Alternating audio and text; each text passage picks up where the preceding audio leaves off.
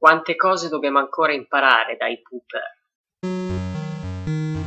Quante cose dobbiamo ancora scoprire e capire dei pooper.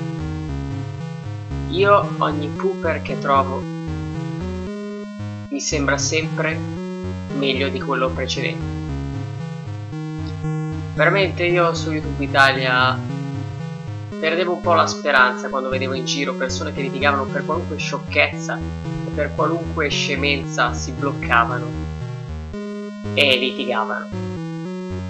È per questo che io ho deciso di fare questa, questo video tributo a un pooper che ha fatto due video in un anno.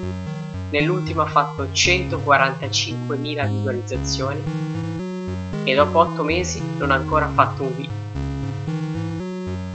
Chiunque, qualunque altro youtuber l'avrebbe fatto, ma non un pooper.